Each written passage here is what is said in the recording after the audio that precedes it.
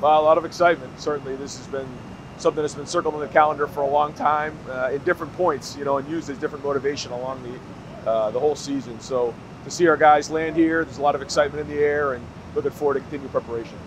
For the next 48 hours, what's going to be the message that you're trying to hammer home to your team before they prepare for the final game of the season? I mean, first off, they have to enjoy it. I mean, that's you know they, they've worked so hard to get here, but really that you know the goal was always to win this. It wasn't just to get here, and it's just all about preparation. You know, it's all about you know being a competitive excellence when we play in the game, and so it's just all about preparation, physically, mentally, and emotionally. We know that your quarterback, obviously a little banged up coming into this prep.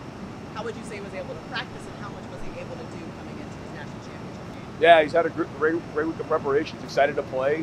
Good week of practice. So uh, we'll continue that tonight, the next uh, couple days. Thanks. All right, thanks.